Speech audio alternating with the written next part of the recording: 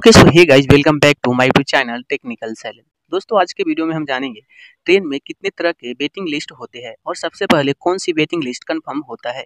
लेकिन आगे बढ़ने से पहले अभी तक वीडियो को लाइक नहीं किया तो लाइक कीजिए चैनल पर नए हैं तो सब्सक्राइब कीजिए ताकि आने वाले वीडियो का नोटिफिकेशन आपको सबसे पहले मिले। अगर आपने भारतीय रेलवे की सेवाएँ ली है तो बहुत हद तक संभव है कि आप वेटिंग लिस्ट के बारे में ज़रूर जानते होंगे। वेटिंग लिस्ट में उन यात्रियों को डाला जाता है, जिनकी टिकट कन्फर्म नहीं हो पाती है। वेटिंग लिस्ट में जाने का मतलब है कि अगर किसी कन्फर्म टिकट वाले यात्री ने अपनी यात्रा रद्द की है तो आपको उसकी सीट दे जाएगी। हालाँकि ये इतना आसान नहीं होता। वेटिंग लिस्ट भी काफ़ी लंबी हो सकती है।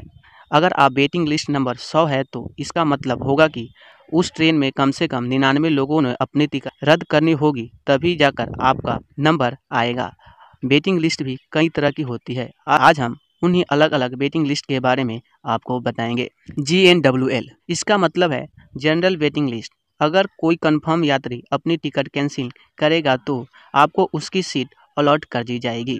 टी क्यू डब्ल्यू एल, अगर आप तत्काल में कोई टिकट बुक करते हैं और उसे फिर भी वेटिंग में डाल दिया जाता है तो उसे तत्काल वेटिंग लिस्ट यानी कि टी क्यू डब्ल्यू एल कहा जाता है। इस टिकट में कंफर्म होने के चांसेस बहुत कम होते हैं। P Q W L.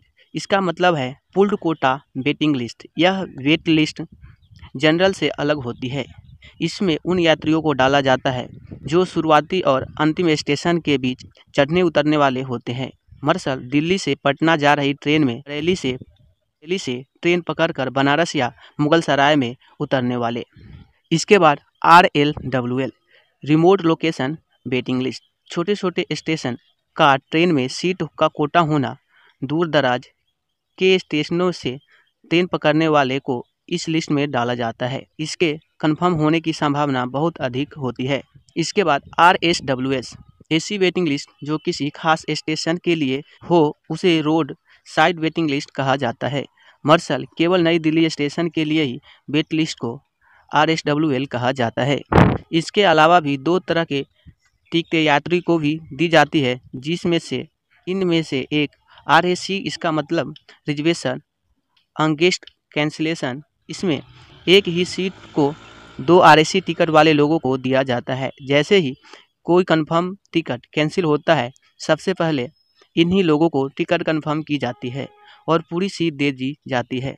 इसके अलावा है सी एन एफ़ हालाँकि ये टिकट का टाइप इस टिकट का टाइप नहीं है, बल्कि आपका टिकट पर अपडेट है। इसका मतलब होता है कि आप इस टिकट पर, इसका मतलब होता है कि आपकी टिकट कंफर्म हो चुकी है और चार्ट बनते समय सीट अलॉट की जाएगी।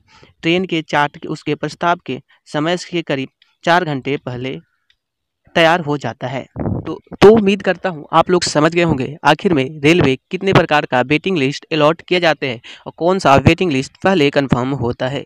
तो बस आज के वीडियो बस इतना ही। वीडियो पसंद है लाइक करना चैनल पर नए हैं तो सब्सक्राइब करना। तो दोस्तों, मिलते हैं किसी और नेक्स्ट वीडियो में।